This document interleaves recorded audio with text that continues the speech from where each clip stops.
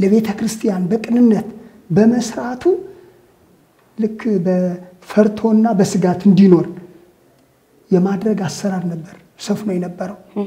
ባለበት በየመጠጡ ሆኖ ሰራተኛ የሚቀይር የፈለገውን የሚያባርር የፈለገውን የሚመድብ ነበርና እንግዲህ ተመልከች፣ ሲኖዶስ የወሰነውን ውሳኔ የሚፈጽምልኝ አካል አጥቼ፣ እነዚህ ሰዎች ግን በራሳቸው በበጎ ሕሊና ነው። እነዚህ ሰዎች በቃ ምንም አይነት እነርሱ ገንዘብ ማግኘት መጠጣት በቃ እንደፈለጉ በስጋ ፈቃድ መኖር እንጂ ስለ ቤተ ክርስቲያኒቱ ክብር፣ ስለሚፈናቀለው ሰራተኛ፣ ስለሚደርሰው በደል ምናቸውም አይደለም። የራሱን ዘመድ ለማምጣት ሲል እኔን ያፈናቅለኝ ይሆን ብሎ የሁሉም ካህን እውነት ለመናገር በስጋት ነው የሚኖረው። በሚሊዮኖች በመቶ ሚሊዮኖች የሚቆጠር ገንዘብ ማለት ነው። እንግዲህ ሁሉም የሆነ ተመልከች፣ የብዙዎቻችንን ጉሮሮ ዘግቶ ማለት ነው የካህኑን ጉሮሮ ዘግቶ ደሞዝ የከለከሉ ሰዎች፣ ስራ የከለከሉ ሰዎች ይህን ያህል ብር ግን ራፍት ቡድን የጨለማ ቡድን ሚላ የአባቶችን ቤት ጭምር የሚደበድብ በጣም ኃይለኛ ግሩፕ ነበር።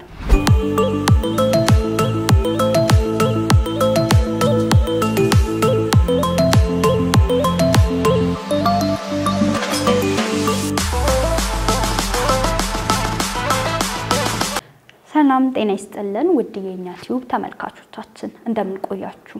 የእኛ እንግዳ የተሰኘው ፕሮግራማችን እነሆ ጀምሯል። እንግዲህ በእኛ እንግዳ ዛሬ አንድ እንግዳ ይዤላችሁ ቀርብ ያለው አብራችሁን እንድትቆዩ በአክብሮት እንጋብዛለሁ። ይህም እንግዳችን መምህር መዘመር ወልደ ሩፋኤል ይባላሉ። በተለይ አሁን ላይ ከየተነሳ ካለው ወቅታዊ ነገሮች ጋር በተያያዘ የተለያዩ ሀሳቦችን በማንሳት የምንወያይ ይሆናል። አብራችሁን እንድትቆዩ በአክብሮት እንጋብዛለን። ፕሮግራሙን በማዘጋጀት ወደ እናንተ የማቀርብላችሁ እኔ ሰላማዊት አዘዘ ነኝ። አብራችሁን ቆዩ። እንኳን ደህና መጡ መምህር።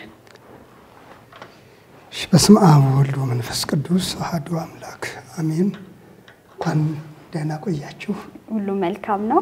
እግዚአብሔር ይመስገን፣ ሁሉ መልካም ነው። እሺ፣ በጣም አመሰግናለሁ ጥሬን አክብረው እዚህ ስቱዲዮ ድረስ ስለተገኙልን። በተለይ በቀደምም ያው ከጥቂት ሳምንታት በፊት እዚህ መጥተው ነበረ እና ከቤተ ክርስቲያን በቤተ ክርስቲያን አስተዳደሮች ላይ ችግር አለ የሚል ሀሳብ አንስተው ነበረ እና በሱም በሱም ቆንጆ ቆይታ ነበር ሲያደርጉ የነበረው እና ዛሬ ደግሞ አዲስ ነገር አለ ከሲኖዶሱ እየወጣ ነገር አለ ብለውናል። ምንድን ነው? እስኪ ምን አዲስ ነገር አለ? አሁን ላይ በቀደም ከተናገሩት የተለየ ምን አዲስ ነገር አለ?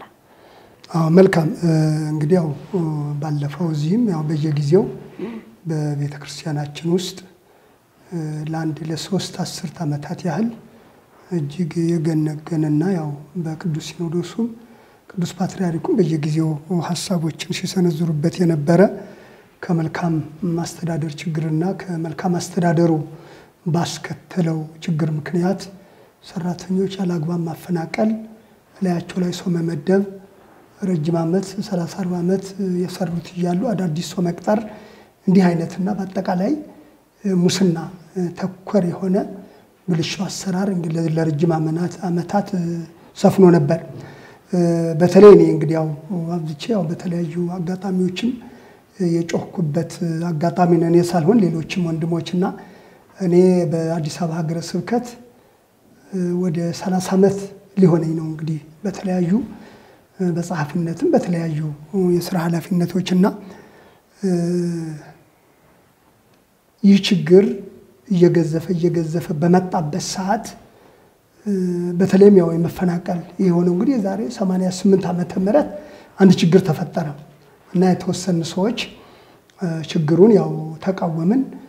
እንዲያውም ወደ መንግስት ሚዲያዎች አንድ የመንግስት ጋዜጣ ቀጥሎ የኢትዮጵያ ሬዲዮ ችግራችንን ያው በወቅቱ የደረሰብንን አስተጋቡልን። ከዛ ጉዳዩ ወደ ቅዱስ ፓትርያርኩ ብፁዕ ቅዱስ አቡነ ጳውሎስ በነበሩበት ጊዜ ነው ያው ጉዳዩ ወደ እሳቸው ደረሰ።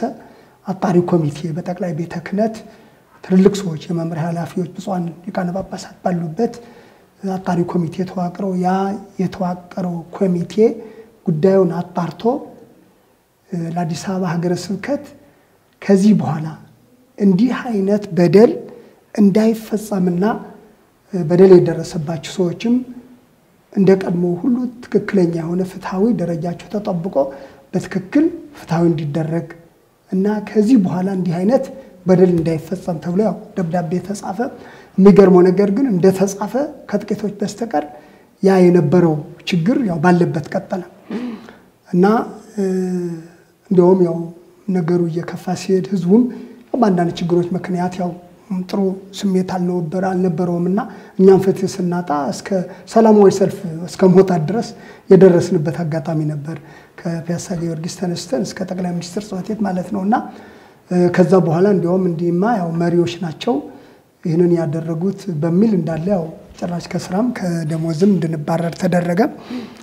ከዛ በኋላ እንግዲህ ባለፈው ማንስቼ ነበር በአንዳንድ ቅን አባቶች እንደገና ከብዙ እንግልትና ከብዙ ዓመታት ወጣ ውረድ በኋላ እንደገና ያው ተመለስን የሆን የተወሰኑ ወንድሞች።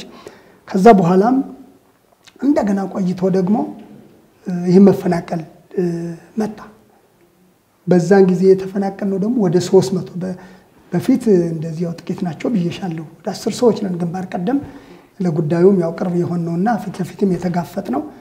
ከዓመታት በኋላ ደግሞ እንደገና ሶስት መቶ መቼ ነው ሁለት ሺህ ስምንትና ዘጠኝ አካባቢ ማለት ነው። ዘጠኝ አስር አካባቢ።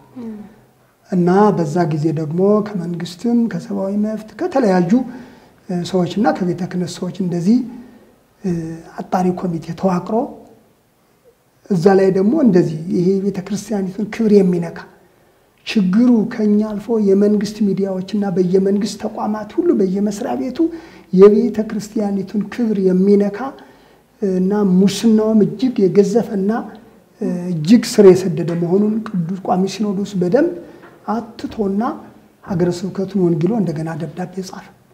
አሁንም የተወሰኑ ሰዎችን ያው እንደ ፈቃዳቸው መለሱ እና አሁንም አብዛኛው ሰው ቀረ። በዚህ ምክንያት ያው እየጮህን የሚገርመው ነገር ግን ሲኖዶሱ የወሰነው ውሳኔ ምክንያቱም ያው ብዙ ዓመት ነው እንግዲህ የተንገላታ ነው ወደ ሶስት አራት ዓመት ያው እንግዲህ በትውውቅ በገንዘብ በሙስና ነው የሚሰራው። እንዲያውም እውነቴን ነው የምልሽ በቤተ ክርስቲያኒቱ ውስጥ ሰርቆ ጉቦ በማቀበልን በመቀበልና በማቀበልና ሰርቆ በመኖር በሌብነት ከብሮ ዘንጦ እንደ ትልቅ ሰው የመኖርና ሌላው ደግሞ በእውነት ለቤተ ክርስቲያን በቅንነት በመስራቱ ልክ በፈርቶና በስጋት እንዲኖር የማድረግ አሰራር ነበር ሰፍኖ የነበረው። ይህንን ነበር እንግዲህ እኛ በብዙ ነገሮቻችን እውነት ለመናገር በነፍሳችን ተወራርደን ማለት ይችላል። ይህንን ተቃዋሚ ነው በሚል እውነት ለመናገር የግድያ ሙከራ ሁሉ የተደረገብኝ አጋጣሚ አለ። ምክንያቱም ቀደም ባሉት ዓመታት ማለት ከ88 ቀጥሎ ባለው ወቅት በቃ የሆነ ቡድን ነበር ይህንን አሰራር የሚሰራ ባለበት በየመጠጡ ሆኖ ሰራተኛ የሚቀይር የፈለገውን የሚያባርር የፈለገውን የሚመድብ ነበርና ይህንን ተቃወምክ በሚል ባለሁበት አካባቢ ጠብቀው አንድ ጓደኛ የነበረ አሁን እንዲያውም በሕይወት አለ። ከእሱ ጋር እኛ መሽቷል ወደ ቤታችን እንገባ ስንል ጠብቆ ያው ሽጉጥ ካወጡ በኋላ ያው የእግዚአብሔር ምሕረት እና ጥበቃው በስቶልኝ እንዴት እንዳመለጥኩ ዛሬ ላይ እግዚአብሔር ምሕረቱን እንዳበዛልኝ አስታውሳለሁና ከቤተ ክርስቲያን አገልጋዮች ችለው ይሄ ነገር ይሄ እዛ ምክንያቱም በወቅቱ ይሄ ድራፍት ቡድን የሚባል ነበረ። ሌሊት በየቦታው በጨለ በቃ ምስር ሲጠጣ የሚያድር ማለት ነው ቡድን። ያ ማለት በቤተ ክርስቲያኒቱ ውስጥ ከአጥቢያ እስከ ላይ ድረስ ግሩፕ ፈጥረው በቃ ትልቅ ቡድን ያለው ነው። ስለዚህ ሌሊት ያው እንደፈለጉ ሲጠጡ ያድራሉ። በቤተ ክርስቲያኒቱ በሙዳየ ምጽዋት ገንዘብ ከዛ እዛ ባሉበት ጌሌን ወደዚህ አዛወር ወደ ጌሌን ወደዚህ አንሳ ይባላል። እዛ ሆኖ ነው የሚያልቀው። ጠዋት ቢሮ ሲገቡ እዛ ያለቀው ጉዳይ ያው ሰራተኛው እንዲዛወር የሚፈናቀለው እንዲፈናቀል ይደረጋል። ቀጥሎ ደግሞ የጨለማ ቡድን የሚባልም ተነስቶ ነበር። ይህ ሁሉም የሆነው ቤተክርስቲያኒቱ ውስጥ ነው እና እነዚህ ሁሉ እንግዲህ በቃ ባላቸው ወቅትን እድልን ተጠቅሞ ባላቸው ገንዘብ ባላቸው እውቀት የእግዚአብሔር ሀሳብ ያልሆነ አዎ እግዚአብሔር በነቢዩ ዳዊት እንደተናገረው ሁሉ አመፁ የሚለው ቃል አለና በቃ እግዚአብሔርን መፍራት በፊታችሁ የለም ይላል። ስለዚህ እነዚህ ሰዎች በቃ ምንም አይነት እነርሱ ገንዘብ ማግኘት፣ መጠጣት በቃ እንደፈለጉ በስጋ ፈቃድ መኖር እንጂ ስለ ቤተ ክርስቲያኒቱ ክብር፣ ስለሚፈናቀለው ሰራተኛ፣ ስለሚደርሰው በደል ምናቸውም አይደለም። ይህን የሚያደርጉት እነማን ናቸው? በስሩ ያሉ ከሀገረ ስብከቱ ጀምሮ እስከ አጥቢያ ድረስ የተዋቀሩ ቡድኖች ነበሩ። እነዛን ማንም ሀያ ይላቸው እስከ ላይ ድረስ ሁሉ ነገር በእጃቸው ነው። እንደሚጠጡ እስከ ላይ ድረስ ያለው ቤተ ክህነት ያውቅ ነበር እንደዚህ አይነት ነገር። አዎ ለምንድን ነው የማይከለክሉት ታዲያ? ማለት ቤተ ክርስቲያን ውስጥ እንዲህ አይነት ቤተ ክርስቲያን የማትፈልገው ነገር ነው ይሄ ነገር ሲጀመር። እንኳን ቤተ ክርስቲያን ውስጥ እንደውም ማስተማር የሚገባቸው ሰዎች ናቸው። መጠጥ ቤት እየሄዱ እያመሹ ምናምን እንዲህ አይነት ነገር የሚያደርግ በጣም የሚያሳፍርና እንትን የሚል ነገር ነው እና ይህን ሲደረግ ቤተ ክርስቲያን ከላይ ያሉ አመራሮች ለምንድን ነው የማይከለክላቸው? ለምንድን ነው እርምጃ የማይወስዱት? እውነት ነው። ያም እኮ ለእኛ ግራ- የገባን እዚህ ላይ ነው። እኛ አሁን ይህንን ተቃውመን እንደነገርኩሽ ሰላማዊ ሰልፍ እስከ መውጣት ድረስ እኛ እኮ መቼም ቤተ ክርስቲያን መዳኘት ያለባት ያው በራሷ ነው አይደል? መቼም የቤተ ክርስቲያን ሕግ በርካታ ሕጎች አሉ። ወደኋላ እመጣበታለሁ። አሁንም አዲስ ሕግ ይወጣለ ከመጽሐፍ ቅዱስ ጀምሮ ትልቁ መለኮታዊ ሀሳብ ያለበት ንፋሰ እግዚአብሔር ያለበት ከመጽሐፍ ቅዱስ ጀምሮ ዋና መመሪያዋ የሆነው ከመጽሐፍ ቅዱስ ጀምሮ በየደረጃው ሕገ ቤተ ክርስቲያን ቃለ ዓዋዲ የሚባሉና በርካታ መመሪያዎች አሉ። እነዚህ ነገሮች ባለመተግበራቸው ግን ባለመተግበራቸው ግን ብዙ ካህን ሲፈናቀልና ይህ መፈናቀል ደግሞ ከግል ጥቅምና ከግል ፍላጎት ጋር በተያያዘ የተቀመጡበትን ወንበርና የተሰጣቸውን ኃላፊነት በዚህ መንገድ ለክብራቸውና ለጥቅማቸው የሚያደርጉ ሰዎች ስለነበሩ ይህንን በመቃወማችን ነው እኛ እንግዲህ ቅድም በመግቢያ ላይ እንደገለጽኩት እስከ ቅዱስ ፓትርያርኩ ድረስ እንዲሁም ጮኸን ጮኸን ሰሚ ስናጣ ነው ወደ መንግስት ጋዜጣ ሄድን፣ ቀጥሎ ወደ ኢትዮጵያ ሬዲዮ ሄድን። እነዚህ ሚዲያዎች ስላስተጋቡ ብቻ ነው እንዲያውም በዛን ጊዜ ይሄ ሸፍጡ በግልጽ በአደባባይ ሲወጣ ያው ሳይወዱ በግድ ሀገርም ስላወቀው የነገርኩሽ እነዛ ሰዎችም እስከ መነሳት የደረሱት ማለት ነው። ስለዚህ ያልሽው ነገር ተገቢ ነው። አይደለም በእግዚአብሔር ቤት አይደለም በቤተ ክርስቲያን በማንኛውም ማህበራዊ ህይወት እኮ የመጠጥና የነውርን አስፈላጊነት የሚደግፍ ነገር የለም። በተለይም በእግዚአብሔር ቤት ደግሞ በጣም አስነዋሪ ነገር ነው። ነገር ግን አሁን ለአንቺ እንግዳ የመሰለሽ ነገር ግን እኛ ግን አልፈንበታል። አዎ መጀመሪያ ድራፍት ቡድን ይህ ሀገር የሚያውቀው ነው። ቤተ ክህነቱ ያውቀዋል፣ አጥቢያዎች ያውቁታል። ድራፍት ቡድን የጨለማ ቡድን የሚላ የአባቶችን ቤት ጭምር የሚደበድብ በጣም ኃይለኛ ግሩፕ ነበር። ስለዚህ በእንደዚህ አይነት እኛም በዛ በጨለማው ወቅት ነው እንግዲህ እግዚአብሔር ጠብቆ ያንን ስለምናውቅ እንደገና በቅዱስ ሲኖዶስና በሚመለከታቸው ባለስልጣናት በተዋቀረ በኮሚቴ አማካኝነት የተወሰነው እንኳን ተግባራዊ እንዳይሆን እነዚህ ኃይል ያላቸው ሰዎች ከላይ እስከታች የኑ ስላላቸው አቅሙ ስላላቸው የተወሰኑ ውሳኔዎች ተግባራዊ እንዳይሆኑ ያው ይኮላሻሉ ማለት ነው።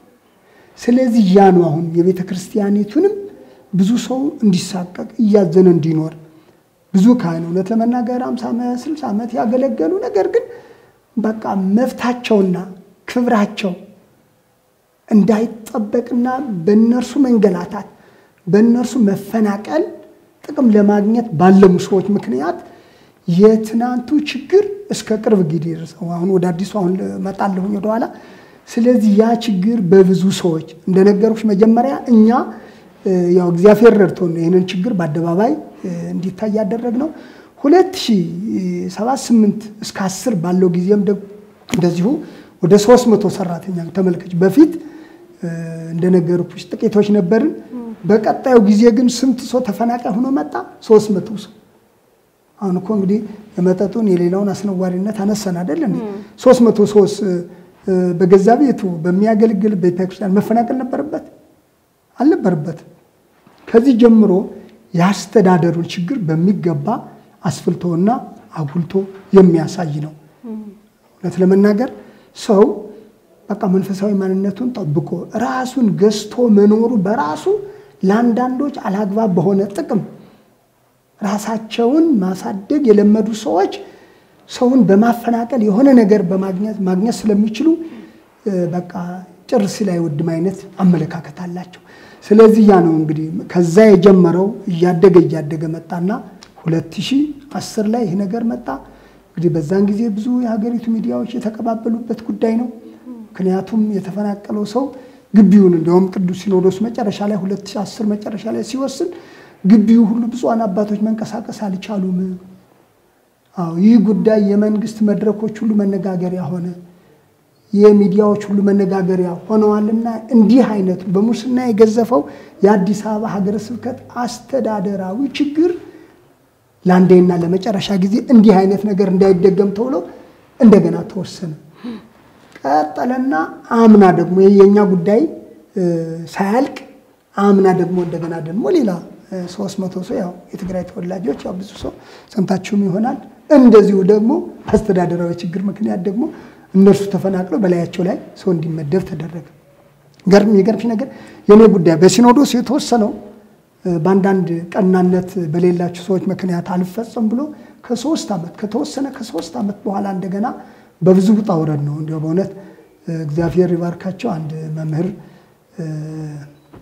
አካለ ወልድ ተሰማ የሚባል የአዲስ አበባ ሀገረ ስብከት ስራ አስኪያጅ የነበረና መምህር አይናለም የሚባል እንደዚሁ የአዲስ አበባ ሀገረ ስብከት የሰው ኃይል የነበር እነዚህ ሁለት ወንድሞች በግላቸው ያሳለፍኩትን ውጣ ውረድ በቤተ ክርስቲያኒቱ የረጅም ጊዜ አገልግሎት እንዳለኝ ስለሰሙ ቢሮ እንደውም ከመመደባቸው ይልቅ ጥያቄን በመጠኑም ቢሆን ከመመለሳቸው ባለፈ ጊዜ ሰጥተው የደረሰብኝን ነገር ጥቅሜን፣ መብቴን፣ ደረጀን እንዴት እንዳሳጡኝ ስናገር በጣም አዝነው አይ መምህር እንግዲህ በዚህ ቅጽበት ውስጥ ያገለገሉበት በጸሐፊነትም በሌላም ኃላፊነት እንደሰሩ ሰምተናል፣ አውቀናል። ነገር ግን እኛ በዚች ጅንበር ይህንን ብሎ ጥያቄ መመለስ አንችልም። ባይሆን ደሞዝዎትንም ማስተካከል እንኳ ባንችል የተወሰነ ጨምረን የተወሰነ ነገር እናድርግልዎት እና በቀጣይነት ደግሞ ያው እግዚአብሔር ሲፈቅድ ደግሞ የቀረውን ነገር እናስተካክል። እንግዲህ ተመልከች፣ ሲኖዶስ የወሰነውን ውሳኔ የሚፈጽምልኝ አካል አጥቼ፣ እነዚህ ሰዎች ግን በራሳቸው በበጎ ሕሊና ነው ይህንን ያደረጉትና አሁን እንግዲህ ያው እንደነገርኩ ሶስት መቶ ሰራተኛ ደግሞ ባለፈው እንደዚሁ ተፈናቅሎ አሁን ያው በእርግጥ አሁን በተለይ በነበረው የግንቦቱ ሲኖዶስ ላይ ጠንከር ያለ ጠንከር ያለ ውሳኔ ተላልፏል። ህገ ደንብም ተፈጽሟል። ማለት ያው በአዲስ ከጥቅምት 15 ጀምሮ አዲስ ህገ ደንብ ወጥቷል። ይህ ህገ ደንብ እንግዲህ እንዲሁም አንዳንዶች ድሮስ ህግ እኮ ነበር፣ ቃለ ዓዋዲ ነበር፣ ቤተክርስቲያኒቱና ቅዱስ ሲኖዶስ እኮ ህግ ሳያወጡ አይቀሩም አልቀሩም፣ ሁልጊዜ ይወጣል። ነገር ግን አስፈጻሚ የለም። የተለመደ ብልሹ አሰራር ስላለ ይህንን ማን ነው ተግባራዊ የሚያደርገው ብለው አሉታዊ የሆኑ ሀሳቦችን ሲሰነዝሩ እንሰማለን። እኔም ግን አንድ እንትን አለኝና ህጉ አይደለም በነገራችን ላይ አሁንም ቢሆን ህጉ እንዳለ ሆኖ ለህጉ መፈጸምና ህጉ ወደ ተግባራዊነት ቀደም ሲል በረቂቅ ደንብ ተዘጋጅቶ ነበር። በአሁኑ ሲኖዶስ ግን አንድ ባንድ ብፁዓን አባቶች በቅዱስ ፓትርያርክ የሚመራው ጠቅላላ ጉባኤው አንድ ባንድ ሀሳቡን እንደገና እየመዘዘ እያጠና ነው እንደገና በደንብ ተጠንቶ ነው የጸደቀው። ለዚህ ደግሞ እኔ እንዲያውም ያለፉትን ወደ 30 ዓመት የከፈልነውን ዋጋ የብዙዎቻችን ያለ ኃጢአታችን ያለ በደላችን እውነትን ስለተናገርን ለእውነት ስለተጋፈጥን ዋጋ እየከፈልን የጮህነውን ጩኸት እግዚአብሔር ቆጥሮ ነው መሰለኝ።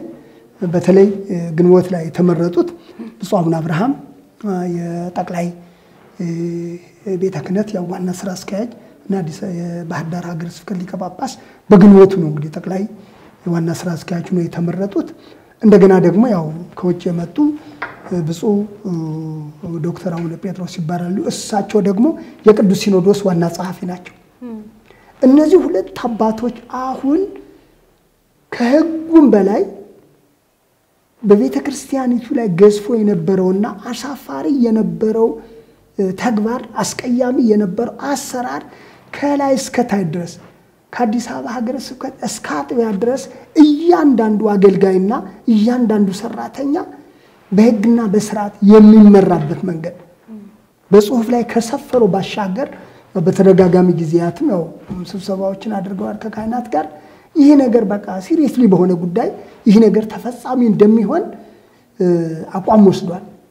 ያው ብዙዎች እንደሚሉት ከህጉ ባሻገር ህጉን ያስፈጽማሉ ተብሎ የሚታመኑት ግን እንደዚህ ሁለት ብፁዓን አባቶች በብዙዎች ልብ ውስጥ ገብተዋል። ትልቅ የሆነ ያው ብርሃን ሆኗል ማለት እኔ እንደውም እውነት ለመናገር በቃ በጨለማ ውስጥ የሚበሩ ብርሃናት ናቸው። ስለ እውነት ነው የምልሽ አለ ድቅድቅ ማለት ጨለማ ውስጥ ምንም በሌለ ውስጥ የሆነ ብርሃን ብታይ ብርቅ አይደል የሚሆነው።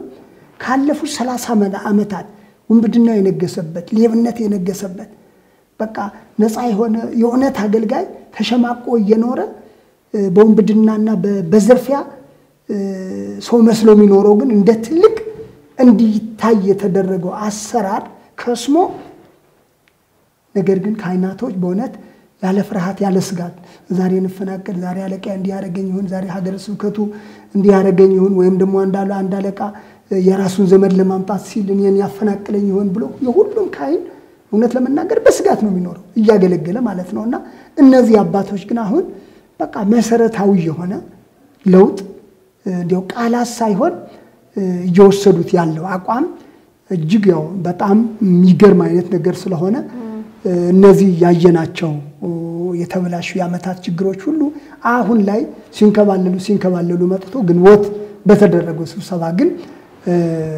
እነዚህ አባቶች ያው ከብፁዓን አባቶች ጋር በቅዱስ ፓትርያርኩ በተሰጠው ያው መመሪያና በመሪነት እሳቸው በሚመሩት ይሄ ሕጉ ጸድቆ ወደ ተግባራዊነት መጥተዋል ማለት ነው። የአሁኑ ሕጉ ያሉኝ ያው አዲስ ነገር እንደሚኖር ነው የነገሩኝ። ቅድምም ምንድን ነው አሁን ላይ የወጣው ነገር ሲኖዶሱ ያስተላለፈው ነገር ምንድን ነው?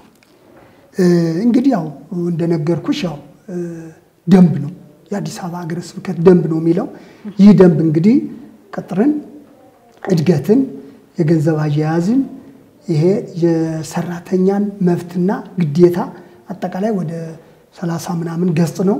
ነገር ግን በእያንዳንዷ በአንቀጽ በአንቀጽ እና በተራ ቁጥር ከአዲስ አበባ ሀገረ ስብከት ጀምሮ እስከ አጥቢያ ድረስ እስካሁን ድረስ በነበረው አሰራር የነበረውን ብልሹ አሰራር የነበረውን ኢፍትሐዊ የሆነ አሰራር ሊገድብ የሚችል ሊገድብ የሚችል እና ሰዎች እያንዳንዱ አገልጋይ መብቱንና ግዴታውን ጠብቆ እንዲሰራ ሲታገድም እንደገና ለሚያጠፋው ጥፋትም ሕግን መሰረት ያደረገ እንዲህ አይነት ነው። ቅድም እንዳልኩሽ ሕጉ ከአሁን በፊት ሳይኖር ቀርቷል። ቃለ ዓዋዲ የሚባል አለ። የአሁኑ ግን በተሻለ ሁኔታ የተቀረጸ ከመሆኑን ባሻገር አስፈጻሚ አካላት ግን ተገኝተዋል ነው። አሁን የብዙ ሰው ካህንና ምዕመን ትልቁ ተስፋ የአገልጋዩ ተስፋ ጽሑፉ እስካሁንም ነበር። ነገር ግን አሁን ሊያስፈጽሙ የሚችሉ አባቶች ተገኝተዋል ነው።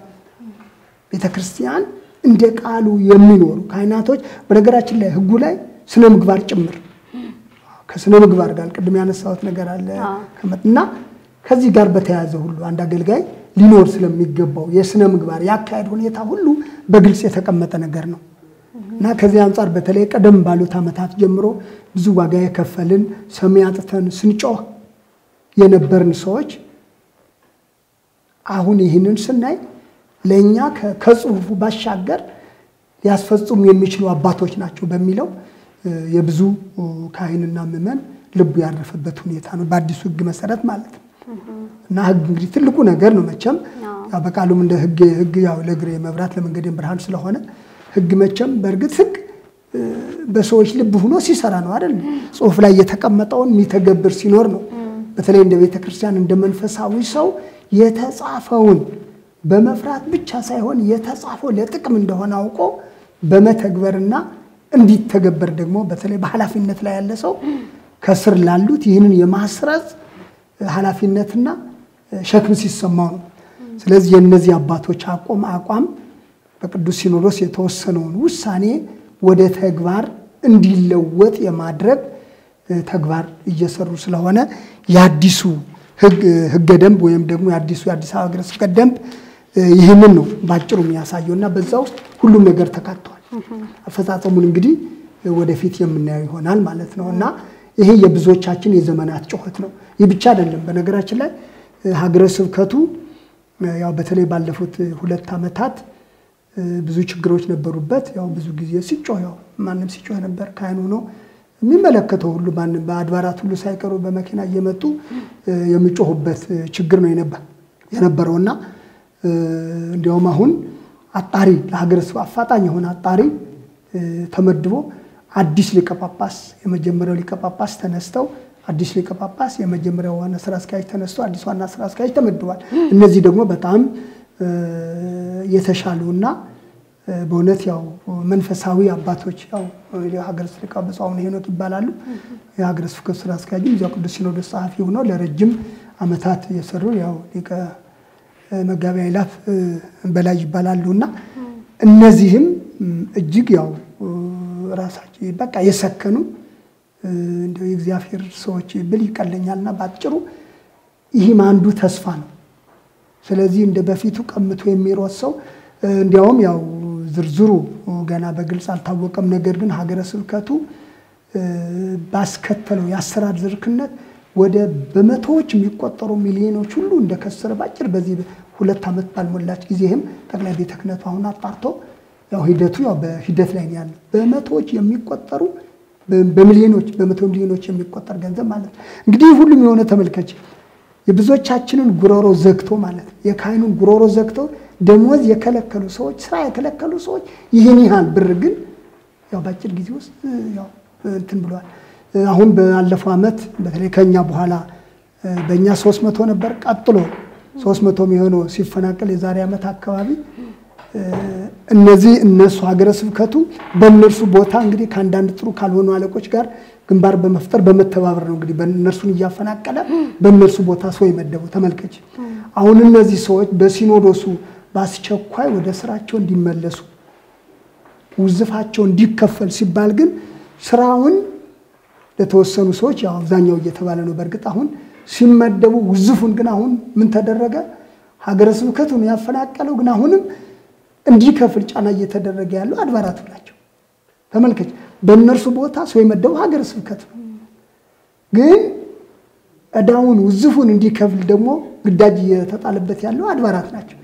ምንም እንግዲህ አንዳንድ አድባራት ለካህናቶቻቸው እንኳን ደሞዝ መክፈል ማይችሉ አድባራት ናቸውና እንዲህ አይነት የብልሽቱን ስር ተመልከች እና በቃ እንዲህ ዝብርቅርቅ ያለ መልክ ያጣ በብዙ ነገር የተቃወሰ አሰራር ስለነበረ ይህ ነው እንግዲህ አሁን ባለው ለውጥ ከግንቦት ወደዚህ ያው የተሻለ መልካም ጭላንጭል ለብዙዎቻችንም ተስፋ ሰው እንደፈለገ ዝም ብሎ እንደ ከፍት የፈለገውን ሲያባረር የፈለገውን እንደ ከብት እንደ ገበያ በቃ የመሸጫ የመለወጫ አይነት አሰራር የነበረው ጋብ ከማለት አልፎ እንዲያውም አሁን የብዙ ሰው ተስፋው ከህገ ከዚህ ከወጣው ደንብ አንጻር ለመዛወርም ለማደግም በራሱ በህጉ መሰረት ነው ተብሎ ያው already ያው እንትኑ ወጥተዋል ማለት ነው። እና ከግንቦት ሲኖዶስ አንዱ ይህንን በጎ ነገር አይተናል ማለት ነው።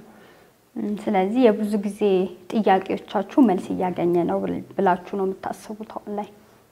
አሁን እንግዲህ መልሱ ይህንን ተስፋ አዲሱን ህገ ደንብ ወይም ደግሞ አዲሱን የሀገረ ስብከት ደንብ ቅዱስ ሲኖዶስ አምኖበት እንዲወጣ ማድረግ ከካህናቱ መብት በየጊዜው በምክንያትና ሌላ ሰው የወደዱትን ለማምጣት ለመሸጥ፣ ለመለወስ ሲፈልጉ የሚያፈናቅሉት ሂደት ሊቆም ይችላል። ሁለት ደግሞ ሀገረ ስብከቱ አካባቢ አሁን ያለው በህጉ መሰረት በቃ ስር ነቀል ለውጥ ነው እየተካሄደ ያለው። ይህ ነው እንጂ የእኛ ጥያቄ ሙሉ በሙሉ ተመልሷል ማለት አይደለም። እኔ አሁን ሲኖዶስ የወሰነው የውዝፍ ደሞዝና የሌላ የመጀመሪያው ደረጃ ምናምን የሚለውን ሲኖዶስ የወሰነውን ሌሎች አዳዲስ የቋሚ ሲኖዶሶች መጥቶ እንደገና ጊዜው ያለፈበት ብሎ ነው የወሰነው። እንግዲህ አሁንም ያሉ ወንድሞች እንግዲህ አምና ያለአግባብ እንደተፈናቀሉ ሲኖዶስ ያመነባቸው ሰዎችም አንዳንዶች እንግዲህ በቀና አድባራት ምክንያት ውዝፋቸውንም እንደተሰጣቸው ነው። ነገር ግን ደብሩም መክፈል ማይችላቸውና እንዲህ የተለያየ ችግር ያለባቸው ሰዎች እንግዲህ እንደኔው አይነት እና እንደኔና እንደተወሰኑ ወንድሞች አይነት ምናልባት ወይ መጨረሻ ላይ ጊዜ አልፎባቸዋል ሊባሉ ይችላሉ። ወይም ደግሞ በውስጥ ደግሞ ሰው ስላ ካላቸው ደግሞ አሁን ትልቁ ችግር እስካሁን ያለው ነገር በሰውም ጭምር ነው። በነገራችን ላይ ከህጉ ይልቅ ሰው ነው የሚሰራው። ባለስልጣን ቢፈርድም ባለስልጣን መመሪያ ቢያስተላልፍ ህግ ወጥቶ በህግ በደንብ ቢተላለፍ ላይ ሆኖ የሚቆረቆር ዘመድና ወገን የሌለው አገልጋይና የቤተ ክርስቲያን ሰው ምንም ያው እንደ ቁራ ጮሆ መቅረት እንጂ ተግባራዊ እስካሁን ያለው እንደዚህ ነው። ስለዚህ ቀጣዩን ደግሞ እንግዲህ እንደ ሁኔታው እናያለን። ከምንም በላይ ግን ፍትሐዊ የሆነ አሰራር በግልጽ ከተቀመጠና ከላይ እስከታች እስከ ሀገረ ስብከት እስከ ቅዱስ ሲኖዶስ እስከ ቤተ ክህነት ያለው አሰራር ወጥ ሆኖ አድላዊነት የሌለበት ይሄ ጉቦ የሚባለው እርካሽ ነገር የሌለበት እውነትና እውነትን መሰረት ያደረገ አካሄድ ከሆነ ሁሉም ተጠቃሚ ይሆናል። በጣም አመሰግናለሁ ባለሰጡኝ ማብራሪያ፣ ቆንጆ የሆነ ማብራሪያ፣ ቆንጆ ቆይታ ነው ያደረግነው። እንደው በመጨረሻ ማለት የሚፈልጉት ማስተላለፍ የሚፈልጉት መልእክት ካለ? መልካም እንግዲህ ሁለት መጨረሻ ላይ ያው ማስተላልፈው የመጀመሪያ እንግዲህ በዋናነት ያው በቤተ ክርስቲያናችን የነበረው ብዙዎች ያነቡት፣ ብዙዎች ያለቀሱት፣ ብዙዎች ተስፋ የቆረጡበት፣ ብዙዎች ያለ እንጀራ ያለ ፍትህ ለብዙ ዓመታት የተንገላቱበት ሂደት አሁን ደጋግሜ እንዳነሳሁት በእነዚህ አዳዲስ ብፁዓን አባቶችና አዲስ በተጀመረው አሰራር ዳግም ለቤተ ክርስቲያንም ክብር ለብዙ ነገሮች ሁሉ ጥቅም የሌለው ነገር ዳግም እንዳይከሰት ለሰው ልጆች ሁሉ መልካም የሆነውን ነገር ማድረግ መልካም ነውና ይህ ነገር ዳግም እንዳይከሰት በተለይ አዳዲሶቹ አባቶች ይህን ከዳር እንዲያደርሱና ዳግም ወደኋላ ተመልሰን የመጮህ ተመልሰን እንደገና ብዙዎች ጥቂቶች ዝም ስላሉ የተመቻቸው ዝም ስላሉ ሌላው አእምሮና ሕሊና ያለው ግን ልክ እንደ ባለፈው ጥቂቶች እንደፈለጉ ሲሆኑ ሰው በቃ በእውነትና በትክክል መኖሩ እንደ ኃጢአት፣ ሌላው ግን በቃ በአግባብ በሌለው መንገድ ስለኖረ እንደ መልካም አጋጣሚ ተጠቅሞ የሚኖርበት አካሄድ ከዚህ በኋላ ቆሞ በወጣው ሕግ መሰረት ሁሉም ከላይ እስከታች በመተባበር አባቶችንም በመተባበር ሁላችንም ለቤተ ክርስቲያናችን አዲስ አሰራር እንድንተባበር ይህንን አንዱ ማሳሰቢያ ነው።